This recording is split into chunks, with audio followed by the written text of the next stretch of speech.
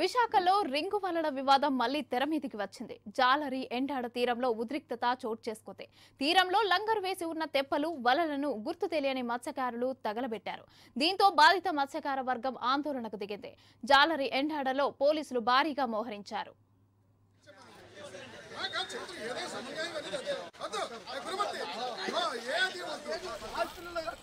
కాల్చారండి అసలు మేము ఎవరైనా చెప్పుకునే పరిస్థితి పోలీసు అది మీ ఇష్టం కానీ మనకు నచ్చినట్టు న్యాయం జరిగినట్టు ఇప్పుడు వరకు గారు చెప్పండి.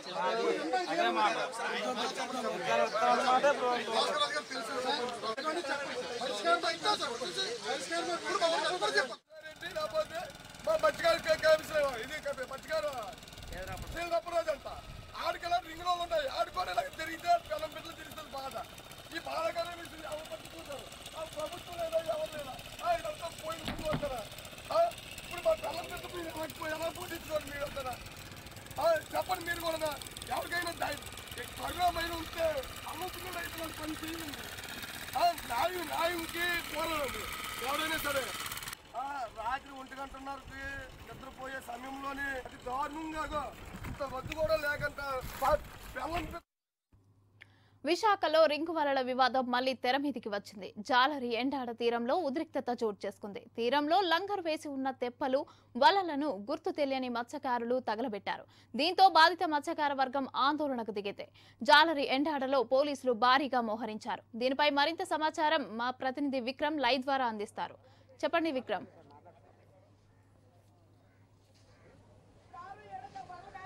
విశాఖ తీరంలో మత్స్యకార పల్లెల్లో ఉద్రిక్త పరిస్థితులు నెలకొంటూ ఉన్నాయి. ఏదైతే రింగు వలలు అదేవిధంగా సంప్రదాయ మత్స్యకారుల మధ్య వివాదం రాజుకుంది ఏదైతే సముద్ర తీరంలో రింగు వలల మత్స్యకారులు వేట సాగిస్తున్నారని చెప్తే కూడా సంప్రదాయ మత్స్యకారులు ఆరు తెప్పలను తగలబెట్టడం జరిగింది. ఈ నేపథ్యంలోనే ఈ ఉద్రిక్త పరిస్థితులు కొనసాగుతూ ఉన్నాయి. గతంలో ఆరు నెలల క్రితం కూడా ఇదే పరిస్థితుల్లో ఐదు బోట్ల వరకు కూడా తగలబెట్టినటువంటి పరిస్థితులు జరిగాయి. అయితే ఇప్పుడు మళ్ళీ ఆ వివాదం సర్దుమానకు పోగా కూడా మళ్ళీ మళ్ళీ రాజుకుంటున్నటువంటి పరిస్థితులు ఉన్నాయి ఈ నేపథ్యంలోనే ఈ పరిస్థితులకు సంబంధించి కూడా అసలు ఏం జరిగిందనేది మనతో పాటు మాట్లాడేందుకు ప్రత్యక్ష గ్రామస్తులు ఉన్నారు. వాళ్ళతో మాట్లాడదాం. చెప్పండి అసలు ఏం జరిగింది రాత్రి? రాత్రి ఏం జరిగిందంటే సార్ ఇప్పుడు పది గంటల వరకు కాపలా కాసాను సార్. ఇప్పుడు ఏంటంటే మాకు ఇలాగ న్యూస్ తెలిసిందండి. న్యూస్ అంటే చెప్పలు మనకు వస్తాం వాళ్ళ కాల్చేద్దాం న్యూస్ తెలిసింది సార్. అలాగే పన్నెండు గంటల వరకు ఉన్నాం సార్. పన్నెండు గంటల వరకు ఉంటే మాత్రం ఏంటంటే ఇంతవరకు రాలేదు కదా అనేసి మాత్రం ఇంటికి వెళ్ళి పడుకున్నాం. పడుకుంటే ఒంటి గంట అవుతుంది సార్. ఒంటి గంట వస్తుంది ఒంటి గంట అయింది- ఒంటి గంట అయిన తర్వాత షెడ్ పడుకున్నారు సార్ కుర్రోలు అది చూస్తే మాత్రం వాళ్ళకి మంటలు వచ్చాయి మంటలు వస్తే బాబు మంటలు వాళ్ళు కాల్చేస్తారు అనేసి ఇంటింటికి మాకు మాకు చెప్పారు సార్. ఆడ మగ మాది బీచ్కి వచ్చాను సార్. బీచ్కి వచ్చిన తర్వాత చూస్తే మాది వెళ్ళాలంటే మాది ఇది లేదు చిన్న చేపలు లేవు. ఒక అతను అదే మాత్రం బోటు మాడికి వెళ్ళారు సార్. బోటు మాడికి వెళ్ళి చిన్న తెప్ప ఉంది. చిన్న తెప్ప ఉంటే మాత్రం తెప్పమానికి వెళ్ళి మాత్రం ఆ తెప్ప వద్దాం అనుకుంటే మాత్రం అబ్బా వాళ్ళ దగ్గర నుంచి మాత్రం జలాడపేట నుంచి మా జలాడ నుంచి మాత్రం తెప్ప వస్తుంది అనేసి వాళ్ళు ఏం చేశారు? తెప్పలు ఉగ్గేసి మాత్రం అంటే అప్పటికి ఆరు తెప్పలు కాల్చేస్తారు సార్ ఆరు తెప్పలు కాల్చేసి మాత్రం తెప్పలు ఉగ్గేసి మాత్రం డీప్లోకి వెళ్ళిపోయారు సార్ డీప్లోకి వెళ్తే మాత్రం అల్లరి మాత్రం ఇద్దరే వెళ్ళారు సార్ ఇద్దరు వెళ్తే మాత్రం భయపడి మాకే కత్తి చూపించలేదు వాళ్ళకి మీకు అంటే సార్ ఇంగ్లాండ్ చూస్తే సమ్మటి చెప్పారు సార్. అక్కడ మాత్రం కోర్టులో మాత్రం పెద్ద మనుషులు వెళ్ళారు. ఏటి తేలింది మాకు తెలుస్తారు పెద్ద మనుషులు మాటలు తీరి మా ఏటగోళ్ళు మేము కళాశాల మేము చదువు తెలుస్తారు వాళ్ళు వెళ్ళమంటే మాత్రం కీరైపోయింది వెళ్ళండి అనేసి చెప్పారు సార్. అది అంతవరకు ఏటకి వెళ్ళాము. ఇలా దౌర్జన్యం చేసి ఆ- వాళ్ళు కాల్స్తారు సార్. తెప్ప బోర్డు కాల్స్తారు సార్. ఇదే నాకు ఇది. చెప్పండి అసలు చాలా కాలంగా ఈ సమస్య ఇక్కడ కొనసాగుతూనే ఉంది. రింగు వలలకి సాంప్రదాయ మత్స్యకారులకి ఈ వివాదం వల్ల ఇలాగ ఎప్పుడు కూడా బోట్లను తగలబెట్టుకునే పరిస్థితిని చూస్తున్నాం. ఎలా నియంత్రించగలుగుతాం వలలు నమస్కారం అండి. వలలు అనేవి రెండు ఒకటే. రింగు వలలని కానీ లేకపోతే సాంప్రదాయ మత్స్యకారులు కానీ రెండు ఒకటే. కాకపోతే ఈ వలకి మాత్రం రింగు పెట్టుకుంటారు వాటి మటుకు తాళ్ళు పెట్టుకుంటారు కాబట్టి రెండింటికి తేడా అనేది ఏమీ ఉండదు. అయితే ఎక్కడా కూడా ఆంధ్ర రాష్ట్ర ప్రభుత్వాల్లో ఎక్కడా కూడా లేనటువంటి యొక్క సమస్యని కేవలం వైజాగ్లో మాత్రమే ఈ సమస్యని లేవనెత్తి ఇక్కడ కేవలం ఓట్ బ్యాంక్ రాజకీయం కోసం అని చెప్పేసి అధికార రాష్ట్ర ప్రభుత్వం యొక్క ఫిషరీస్ డిపార్ట్మెంట్ అధికారులను వాళ్ళ గుప్పెల్లో పెట్టుకుని ఎంతో బాధాకరంగా ఇక్కడ ఉంటే చాలా సామాన్యమైన బతుకులు వీళ్ళందరివి కూడాను. రోజుకు వేటాడితే కానీ వాళ్ళకి పోటడని పరిస్థితుల్లో ఈ రోజున వీళ్ళని అనవసరమైన ఇబ్బందులు గురి చేస్తూ గతంలో కూడా ఈ యొక్క రెండు కులాల మధ్యన వివాదాలు చెలరేగి వాళ్ళు చూస్తున్నటువంటి తరుణం చాలా బాధాకరం. గతంలో కూడా సుమారు కొన్ని బోట్లు తగలబెట్టి రెండు కోట్ల మేరకు ఆస్తి నష్టం జరిగితే వాటిని ఇప్పటి వరకు కూడా ఎటువంటి పరిష్కారం చూపించకుండా వాళ్ళని ఆఖరికి బోటులో కాల్చిన వాళ్ళని అరెస్ట్ చేయకుండా ఈ రోజున చేసిన లాండ్ ఆర్డర్ ప్రభుత్వం వైఫల్యం వల్ల మళ్ళీ ఇలాంటి సిచ్యువేషన్ జరిగింది. దీన్ని ఇప్పుడు గ్రామస్తులు అయితే మటుకు ఊరుకునే ప్రసక్తి లేదు. మేము కూడా ఊరుకునే ప్రసక్తి లేదు.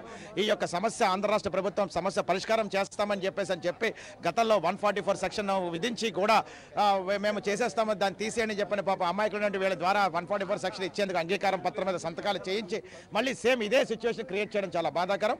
దీన్ని తీవ్ర స్థాయిలో గ్రామస్తులందరూ ఆగ్రహంగా ఉన్నారు కాబట్టి దీనికి హండ్రెడ్ పర్సెంట్ మేము కూడా దానికి సపోర్ట్ చేస్తామని చెప్పేసి మేము తెలియజేస్తున్నాం. అలాగే ఇక్కడ మత్స్యకారపల్లిలో ఈ ఉద్రిక్తమైన పరిస్థితులు కొనసాగుతున్నాయి. అయితే ఇప్పటికీ కూడా భారీ ఎత్తున పోలీసులు ఇక్కడ ఫర్దర్గా కూడా ఎటువంటి అవాంఛనీయ ఘటనలు జరగకుండా పెద్ద ఎత్తున పోలీసులందరూ కూడా మోహరించి ఉన్నారు. గ్రామస్తులందరికీ మత్స్యకారులందరికీ కూడా సూచనలు సలహాలు ఇస్తూ ఉన్నారు.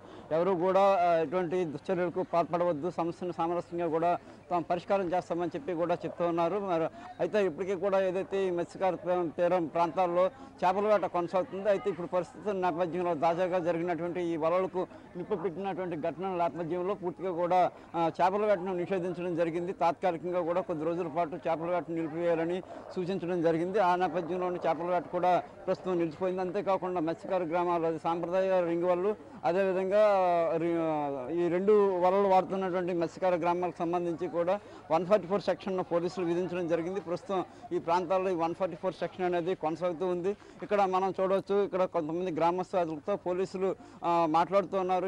ఎటువంటి దుశ్చర్యలకు పాల్పడవద్దు సమస్యను సామరస్యంగా పరిష్కరిస్తామని కూడా చెప్తున్నారు. గతంలో ఇదే అంశానికి సంబంధించి కూడా వివాదం చెలరేగింది.